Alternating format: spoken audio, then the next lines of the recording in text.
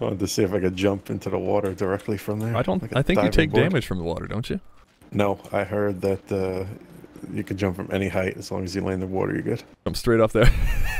Oh. Why'd you jump onto the lake? Hey, I only got knocked out. Oh, here we go. All for nothing. Here's all the beans. Yep. Ah.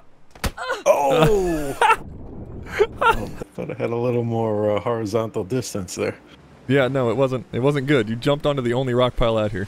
Like you could have gone anywhere else and you'd have been good. I took the same path where you were looking. You didn't even look. You like just kind of jumped. I You're like, trusted your your placement. you're like, oh, he's looking generally that direction. I'm gonna go ahead and just jump for it and hope that he's not looking at a rock that's down there to avoid. We're we're gonna eat blue here. Look, if you hadn't jumped onto the rock,